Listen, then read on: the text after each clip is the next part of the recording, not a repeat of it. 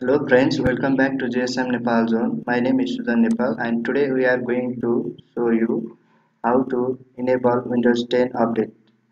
So here simply click on Windows button plus R. Now you can find your run box. Then type here services.msc. Then press OK button. Now you can see your services option. Now scroll down it and find Windows Update option.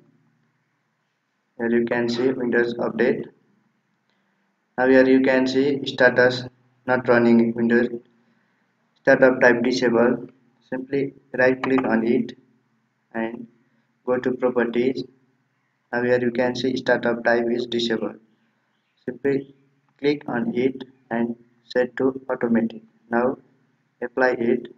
Now here you can see service status stopped then click on start button.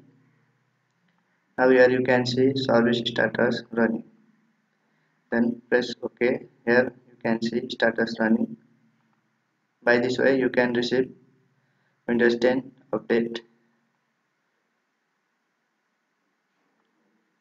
That's all. If you like this video then don't forget to like share and subscribe us and press the bell icon thank you for watching